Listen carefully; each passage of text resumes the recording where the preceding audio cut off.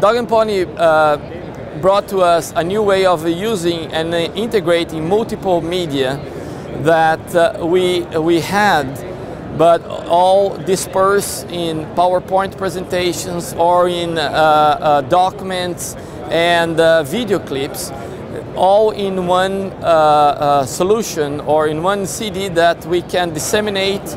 and, be, and use even if it's not by uh, a, an expert in the field. They are very easy to work with, uh, uh, very capable, uh, technically sound, they, they know what they're doing and uh, they worked very well with our team. They delivered the, the project that we asked them, that we ordered on time and within budget.